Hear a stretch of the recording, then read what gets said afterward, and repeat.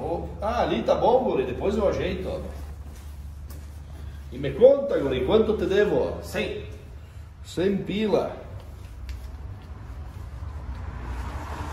Tem um aqui de 97, guri, 97. Ficou 3 real. Ah, pode ser. Mas qualquer coisa pede pro teu patrão vir ali e a gente acerta depois, esses Beleza. 3 pila. Beleza. Bonito esse puminho aí, viu? Relíquia. Ele, Ei, tá bom, querido? Abraço.